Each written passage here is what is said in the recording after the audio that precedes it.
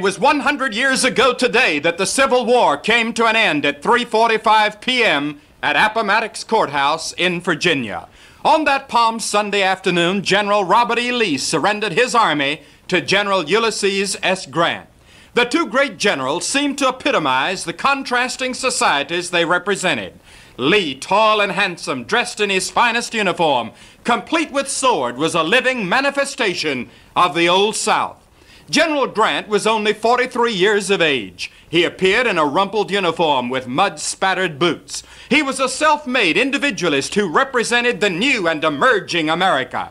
This was the America searching for new lands and broader horizons, a society unconcerned with class distinctions. The terms of the surrender was one of the most generous in the history of modern warfare. Lee's army was not to be taken prisoner, but paroled and allowed to return to their homes. Eyeing Lee's handsome sword, Grant decided it would be unnecessary humiliation to require that it be surrendered.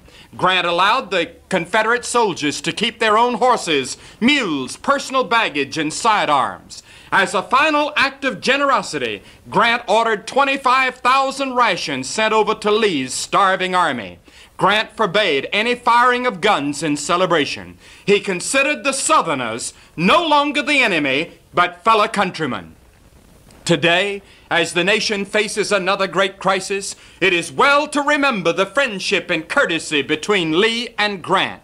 The present crisis is not a Southern problem. It is an American problem. The problem exists in almost every city and community in the United States. And the entire world is watching to see if the American dream will work. In a time of crisis such as we're facing, will democracy really work? During the darkest days of the Civil War, somebody asked Abraham Lincoln if he did not think God was on his side. He said, I'm not concerned as to whether God is on our side, but I am concerned as to whether we are on God's side.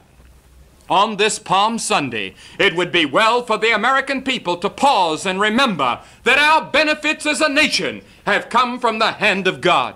Let us repent of our sin and turn by faith to the God of our fathers that he might help us in the present crisis. As one crisis follows another throughout the world, the New Testament's message of hope is more needed by a confused and alarmed people than ever before. Never has the cross of Jesus Christ towered so in judgment over the events of time as today we begin Holy Week.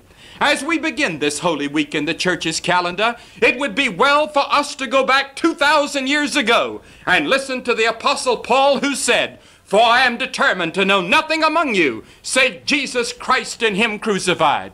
The Apostle Paul preached and proclaimed throughout the early Roman world that there was no hope for the world, no hope for the individual, except the cross of Jesus Christ. The Apostle Paul had learned that there was no possibility of solving the problems of the world apart from the cross. The late German theologian Karl Heim once said that the answer to the world's dilemma is the kerygma or the proclamation of the gospel, and that the heart of the kerygma is the cross. Yet the Apostle Paul referred to the cross as a scandal to the world. He asked the churches of Galatia why it was that if he preached works, he would not be persecuted. But the moment he started preaching the cross, that's when they began to persecute him. If that were true, he said, then the scandal of the cross would cease if he preached only works. To the Corinthians, he once said that the preaching of the cross was foolishness to the intellectuals of that day. And the word that was translated foolishness could have been translated idiocy or moronic. That expression, the offense of the cross, at first may sound strange to the modern world. We have crosses on our churches, embossed on our Bibles, and worn as pendants from our necks. The cross is an emblem of art to the poets. There may be nothing wrong with this sentimentality, but the Bible teaches that the cross, as understood in the New Testament days, was an offense, a stumbling block, a scandal, idiocy, moronic, to that world and to every world that has ever been since then. Christ is not always attractive to the human heart, no matter how he's presented. Isaiah says with prophetic vision as he looks down the corridors of time, there is no beauty in him that we should desire him. Paul, living after Christ, found the cross provoked the scorn and aroused the antagonism of men. When he held up Jesus Christ and him crucified, many were offended and turned away in contempt and rage. Today we hear the cry from all over the world. Back to Christ. I want to ask, what Christ are we going back to? The president of one of our theological seminaries remarked, I'm convinced we're having a religious revival in America, but he said, it is not the Christian religion. Sometimes when we look at Christ, we get a wrong concept of him. Too often, he is only the Jesus who walked in Galilee, or an ideal created by a picturesque imagination. He is not the Christ of the cross. The cross in the days of Christ stood for a place of horrible execution. It was reserved by law for murderers, inciters of rebellion, and the lowest kind of criminals. The cross meant tragic suffering and slow death, for the victim was exposed to the elements and to the animals that prowled at night. There was no suffering comparable to the intense physical suffering of a man being executed. When Jesus said, If you're going to follow me, you have to take up a cross, it was the same as saying today, Come and bring your electric chair with you. Take up the gas chamber and follow me. He did not have a beautiful gold cross in mind or the cross on a church steeple or on the front of your Bibles. Jesus had in mind a place of execution. Paul found that wherever he went, he had no difficulty until he began to preach the cross. Wherever he went, he found that the cross was an offense. It was a scandal. People did not want to talk about it. They did not want to hear about it. And after 2,000 years, it has not changed in America, Europe, Asia, and Africa, the cross of our Lord Jesus Christ is still a stumbling block to men who want to go to heaven but are not willing to pay the price of the cross. There are four reasons, among others, why the cross is moronic and idiocy and foolishness and an offense to modern man. First, the cross is idiocy to the present world because it condemns the sins of the world. The thief on the cross looked at Christ dying, confessed openly his sins, and said, Lord, remember me when thou comest into thy kingdom. The fact that Christ was dying and his blood was being shed had thrown the searchlight on his own wickedness. He saw the purity, holiness, and righteousness of Christ, dying not for his own sins, but for the sins of the whole world. And he recognized immediately that in comparison to Christ, he was a sinner, and he cried out to Christ for salvation. That is how I know I am a sinner. Not only because I've broken the Ten Commandments, but because I've come short of the glory of God. The glory of God is Christ. And if I fail to live like Jesus, to be as holy, good, pure, and righteous as Jesus was, I come short. I'm a sinner. Who of you can stand up and say, I'm as good as Jesus? None of you can. For all have sinned and come short of the glory of God, and the wages of sin is death. Look at Herod. He was the king of Galilee. He was living in adultery, committing the sin that broke the seventh commandment. And the Bible teaches you can commit adultery many ways. Jesus said if you look upon a woman to lust after her, you've committed it already. A word, the dirty joke, the obscene language, the pornographic literature that plays upon the imagination, it is the same in the sight of God as if you had committed the act itself. Herod condemned Christ because his purity, love, and graciousness shone upon Herod's sin of adultery. Herod did not like it, and the cross became an offense to Herod. Neither do you like the cross, maybe because of your immoral, sensual sins.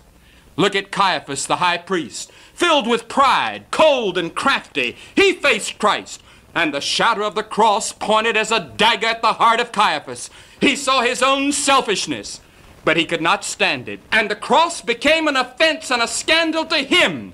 And to all of you filled with your own ego and pride, the cross will be the same. Pride was the sin of Lucifer, and it is the sin of the world today. We feel that we can please God by our own works and somehow get to heaven by our own religious effort, and we don't need to come by the way of the cross. But the Bible says, By grace are ye saved, through faith, and that not of yourselves. It is the gift of God, not of works, lest any man should boast. We don't like that. It offends us. This is the scandal of the cross. We've developed rockets and think we can do anything. We don't like to be told in our day that we must become little children to enter the kingdom of heaven. But I tell you, salvation is of God. It is God who took the initiative, God who gives repentance, God who plants the seed of faith in the heart, God who regenerates the heart. Look at Pontius Pilate. His sin was fear. He was a moral coward. How many people would give their lives to Christ, but they're afraid of what the crowd or the neighbors will say? They're afraid to face their family. They don't want to be called a square. Or look at Judas. The cross shone in the direction of Judas, filled with covetousness, greed, and ambition. He wilted and became a suicide because the cross was a stumbling block. Judas could follow Christ when the people were cheering. Judas was right there in the parade on Palm Sunday when the band was playing and everything was going fine and the people were shouting and cheering. But when the chips were down and Jesus began to talk about a cross, Judas said, Count me out. He was putting his money and his own ambition before God, as many of you are. Has many come between you and God? A few months ago, a man accepted Christ in one of our crusades and said to me, From now on, although my business may go broke, I shall make only honest dollars. And that's exactly what happened. He did go broke. But he has in his heart Jesus Christ, and he's now being successful in business once again. Look at the Apostle Paul. Wherever he went to preach, the cross was an offense. He preached before Felix, and the burning message of the cross condemned Felix so that he trembled. But he said, When I have a more convenient season, I'll call for you, Paul. Go away. There never came a more convenient season for Felix. That was his last hour, and he did not know it. A man in the gallery one night during one of our recent crusades trembled. He gripped the seat until his fingers throbbed with blood. He went home and dropped dead that night. Paul preached the cross to Festus, who cried out, Paul, you're mad. You're a raving maniac. The cross was a scandal. It was idiotic. It was moronic. To Festus. And Festus, as far as we know, died without God and without Christ. The scripture says men love darkness because their deeds are evil. The cross throws spiritual light into the dark recesses of our soul and shows us our sins. The cross becomes an offense because it condemns us as sinners. Secondly, the cross is idiocy to this present world because blood was shed there. People say this is a slaughterhouse religion, a repulsive religion of blood. From Genesis to Malachi in the Old Testament, you will read of the blood. It is repulsive to some, but God put it there. Blood means life. The life of the flesh is in the blood. When blood is shed, life goes. Jesus gave his life on the cross when he shed his life's blood, and there's no way of salvation or forgiveness or redemption apart from the blood of Jesus Christ. Thirdly, the cross of Christ is idiocy because it puts forth an imperative ideal of life. Jesus said, If any man will come after me, let him deny himself and take up his cross and follow me. We're busy in our churches today building new buildings and sending in reports and all the rest of it. But Jesus demands that we live the life every day that we walk in fellowship with Him, that we love our neighbors ourselves. And we don't want to do that. We want to live our own lives. We want to do it the way we want to do it. We reject the call of Christ from the cross. And fourthly, the cross of Christ is idiocy because it claims to be the only way of salvation. It demands from every man as his first duty that he get right with God. We do not like that. We like to think that there are other roads to heaven besides the one road. Jesus said that the gate to heaven is narrow.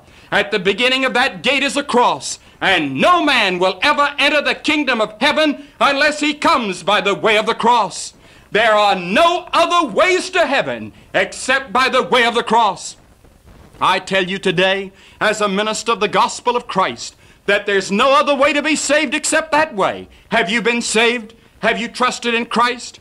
You can find a new life here and now. Your future can be assured, your sins forgiven. You can become a partaker of God's life. Jesus finished his work on the cross. It's all finished. All you have to do is receive it. Shall we pray? Our Father and our God, we pray that many this day will come to the foot of the cross on this Palm Sunday or during this Holy Week and find forgiveness of sin and new life. For we ask it in His name. Amen.